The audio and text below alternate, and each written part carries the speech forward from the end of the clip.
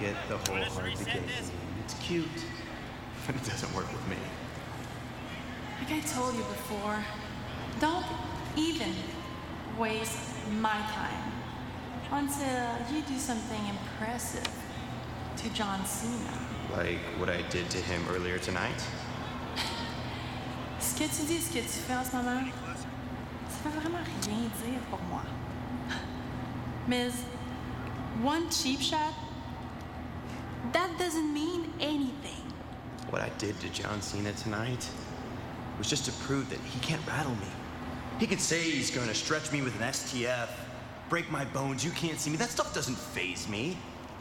Six days from now, I'm going to prove that not only do I belong here, but I own John Cena. Because I'm the Miz, and I'm. I told you, do something impressive.